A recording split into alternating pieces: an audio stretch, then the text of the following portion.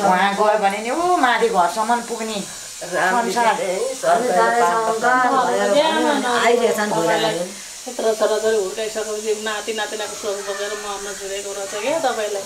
यस्तै हो। अब गर्नु के त? संसारै भुलाएर गयो संसारै भुलाएर गयो कि? होइन बिरामी भएर बजार गरेर मर्न बालाघाट गरेर खानु भएन भन्नुहुन्थ्यो। होइन? त। यो त। राम्रो पनि फलकमै नभए राम्रो त्यस्तो बच्चा नि त्यहाँ बुझ्छ ठोक्दा ठोकिआएको अरे त्यो बुढी त्यो त पछि अरे अनि त्यो भाइले